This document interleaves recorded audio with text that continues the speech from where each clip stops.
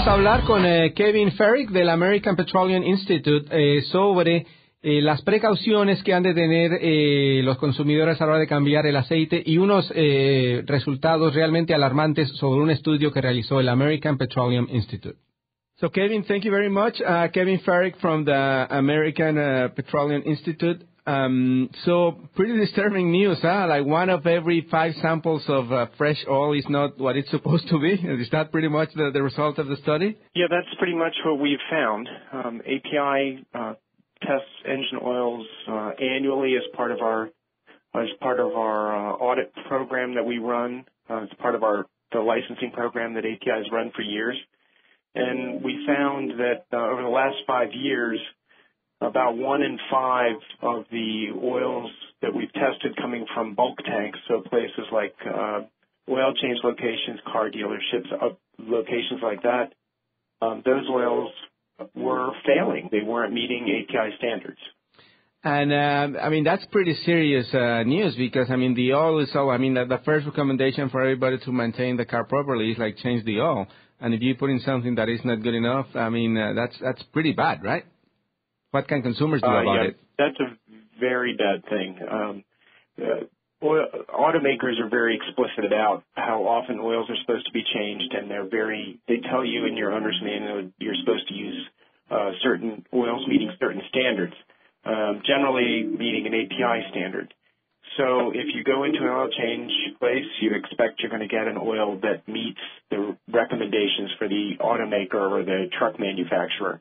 When you don't get that, um, there are potential consequences. You could be affecting the performance of the engine. Uh, you could be hurting its uh, the life of the engine, so the engine may not um, run as well or as long as you would like it to run.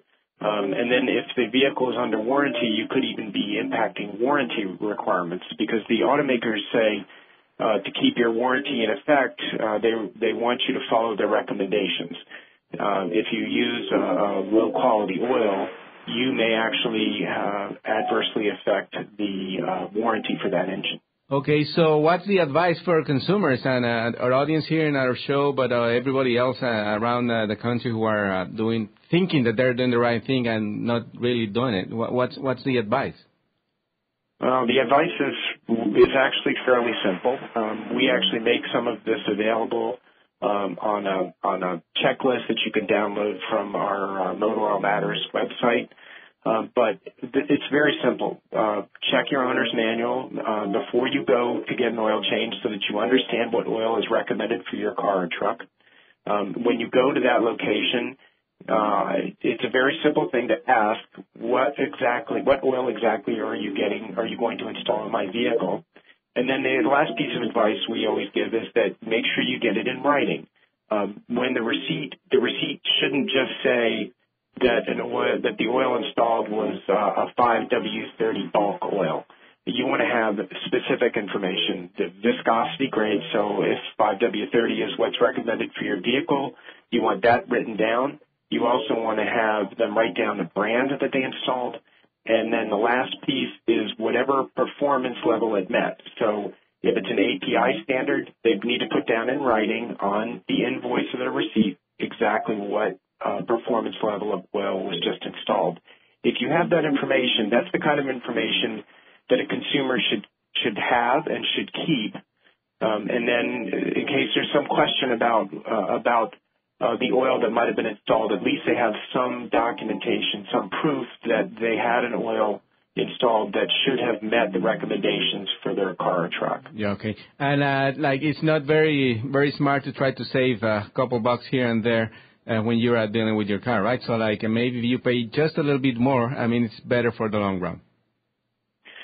Uh, when when we think about cost, uh, I'm I'm a big fan of of getting a, a, good value. Um, so sometimes there are oil change, you know, an oil change location will offer a coupon or a special deal, and we think that that's great. Um, we think people should take advantage of those, but they want to be sure that when whatever oil they're getting, they're getting exactly the oil recommended for their car or truck.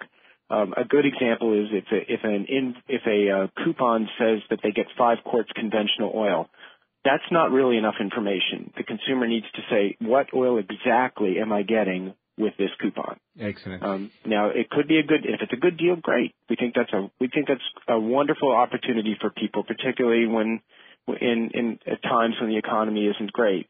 Um, so it, it, getting a value is always a great thing, but you want to make sure you know whether that oil really is the value you think it is. Excellent. Kevin Ferrick from the American Petroleum Institute, thank you very much for your time. And uh, can you repeat the website where people can find more information about this? Yes, go to www.motoroilmatters.org. Excellent. Thank you very much, Kevin, for your time and information. Thank you very much. Bye. Pues ahí tienen información muy, muy importante acerca de las precauciones que hay que tener a la hora de ir a cambiar el aceite del vehículo. Hay que tener que esté todo documentado, como decía Kevin ahí en la entrevista, para que si viene un problema después tengan con qué responderles. Esto es Auto 060 y no se vayan que cuando regresemos vamos a hablar de lo que va a pasar con los autos chinos en el futuro. Ya regresamos, esto es Auto 060, yo soy Javier Mota.